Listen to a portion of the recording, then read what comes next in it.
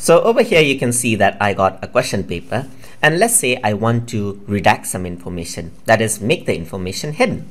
So let's the end user just wants to know the format. So what I want to do is I want to hide the information that is the uh, main questions. I just want to send them the format.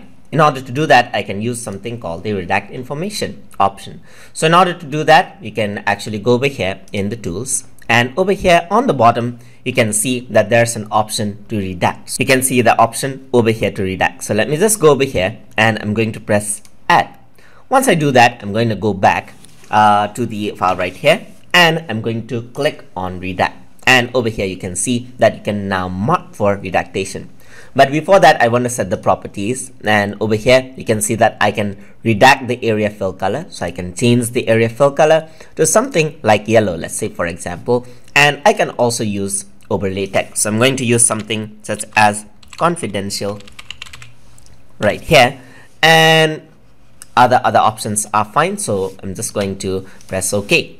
So now I want to select the areas for redaction. So I can actually go over here and then I can find text that I want to redact. So let's say I want to um, like uh, redact the words uh, containing IBM. So I'm going to press IBM right here, set and remove text. And once you do that, uh, that actually uh, marks this out and you can mark the check results for redaction as you can see right here but I don't just want to redact this I want to redact all of it so I'm going to go over here and select text and images and I'm going to press OK. And now what it allows me to do is select all of the text right there, just like this.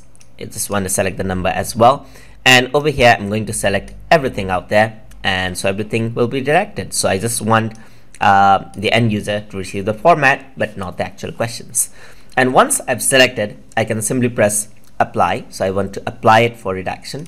And it wants me that the uh, action cannot be repeated. So that's okay with me. So I'm going to press OK and now everything has been redacted as you can see and you can see the word confidential right there. So confidential is there the information has been redacted you can see the format and everything is uh, according to what we actually selected.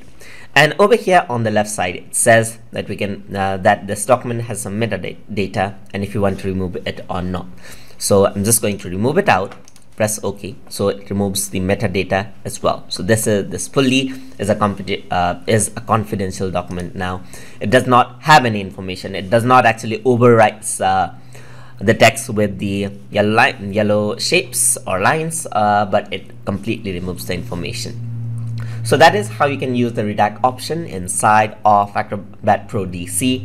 Hope you guys learned something as always and as always please like, comment, share and subscribe.